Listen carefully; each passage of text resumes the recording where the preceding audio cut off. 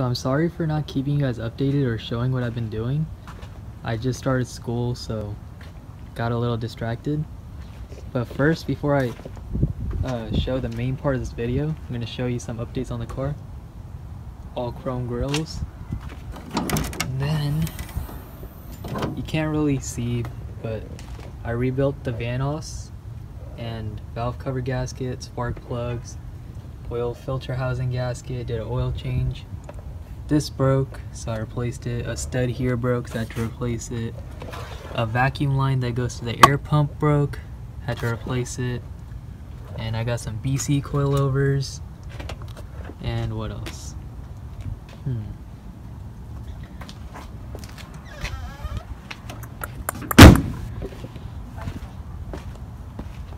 Yeah, I lowered it. Just cracked my side skirt today, which sucks.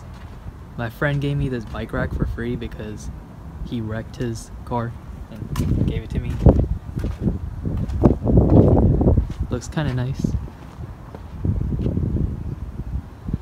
Um, I had to take the spacers off the back because I need to get these rolled. And yeah. And then today what we're going to be doing is putting in my Mishimoto radiator, my new expansion tank, mounting plate, coolant, and yeah. Oh, and I also replaced the alternator because it went bad, the battery, and I put in a welded 3.46 diff. So I'm racing against daylight, see, moon's out, sun setting, but I'm gonna jack the car up on all four and then drain all the fluid first.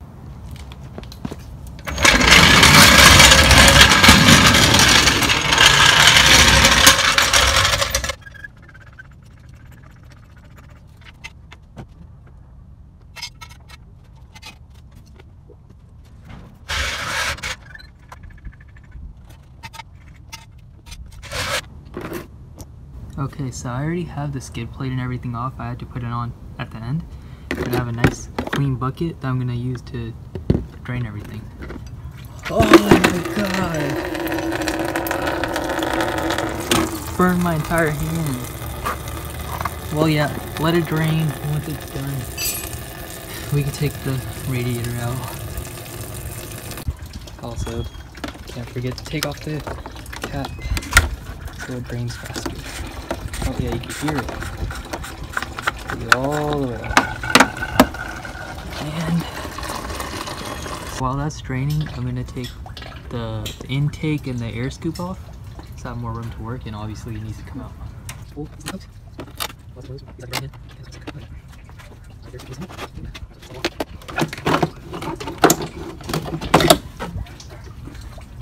Disconnect this little sensor that's on the fan shroud.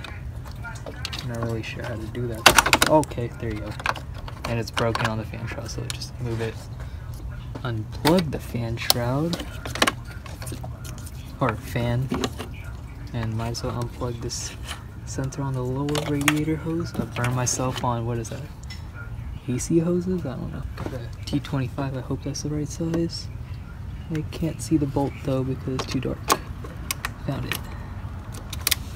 And it is. Undo this T25. Still can't see anything. It's dark now. I wonder how dark it is on camera. I'll see when I'm editing.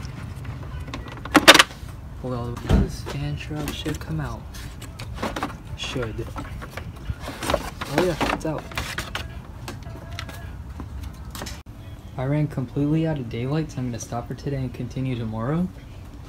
I just left off with whatever I showed you guys last.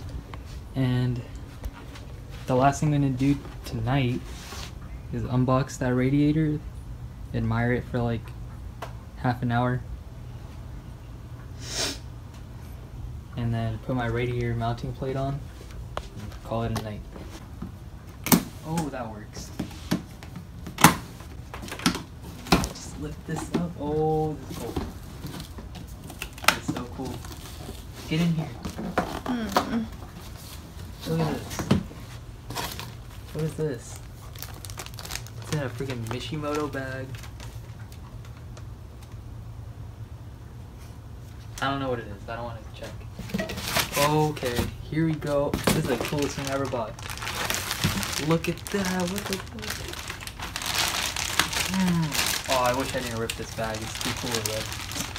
Oh my god, down. Oh. There we go. It says Mishimoto right there. Oh, look at these welds. Look at that. Mishimoto? Yep. Oh wait, never mind. I can't put the mounting plate on because I need the screws from the old radiator. So I'm just gonna lay it on here. See if it works. Uh, I think it goes like that. Right? Yeah. Okay. So this. Oh, I clipped my finger. Alright, so it's the next day. I had to stop last night because it was too dark. I couldn't see. In about three hours, I have to leave for Fresno, which is four hours away in this car. So yeah, let's continue. I still need to take that hose off. And then, not sure if you could see it. Well, one of the hoses on the bottom off, and then I could pull it right out because I don't think it's attached by anything with this and that. So yeah. So what I ended up doing was, well, pulling that one off. Then I pulled the expansion tank off first to get to that bottom hose right here. Otherwise, I wouldn't actually be able to get to it. And I realized there's one more Torx right there.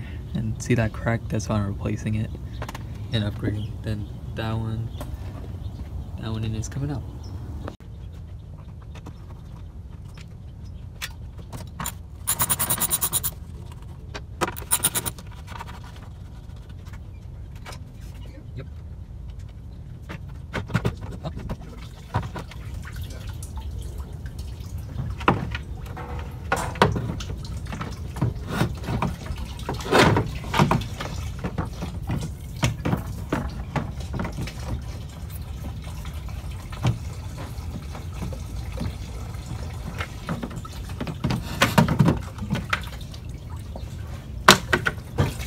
I'm gonna swap everything over from this radiator to my new one now.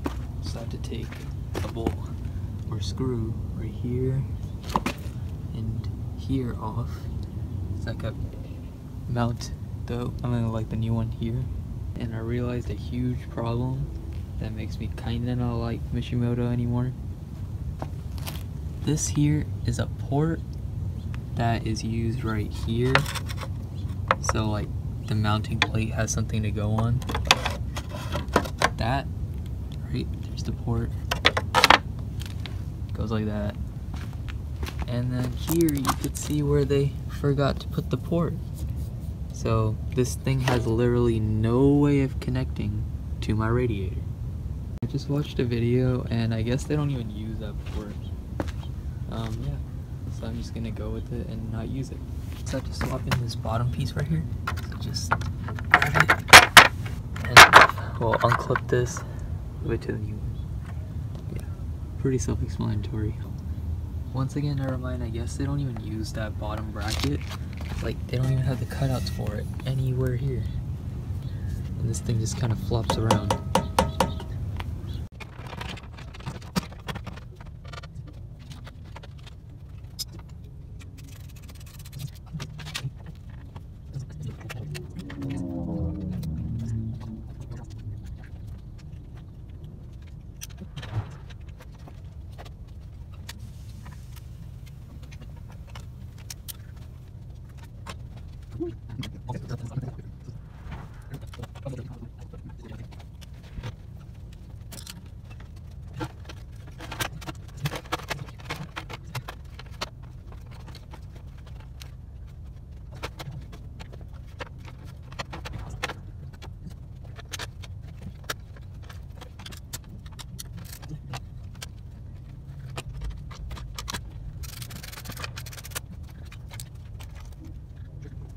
I just realized I never made an ending to this video.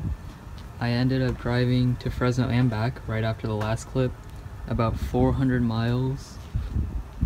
Car didn't overheat, I was going between well, I'm not gonna say how fast, between four and five thousand RPMs the entire way for three hours straight with my 3.46 diff in 100 plus degree weather.